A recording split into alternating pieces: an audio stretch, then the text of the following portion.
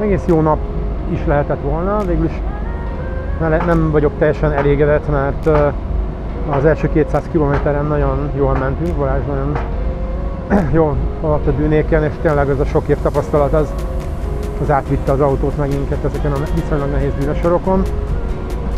Sajnos a második cép után sorra kaptuk a defekteket, és a hidraulikus emelőnk nem jött velünk, nem akarta tenni a dolgát, úgyhogy nagyon sok időt vesztettünk, és utána egy picit talán még a lelkesedésem is alábbhagyott, de aztán tényleg más biztonságra jött törekedtünk. Ez a pótkerék nélkül nem egy megnyugtató érzés, olyan köves tiálokon menni, ahol az ember igazániból csak a csattogásokat hallja, ami a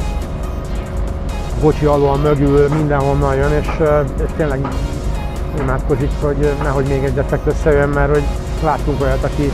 meg három defektje volt, nem volt több pótkereke, és szegény próbálta mutogatni a kerekét, de hát mi nem tudtunk neki már adni, meg egyébként sem olyan felnink van, ami neki jó lett volna. Úgyhogy ez a 42. hely, ez ilyen sokkal jobb is lehetett volna, amit kicsit sajnálok, de azért itt vagyunk, ez a lényeg.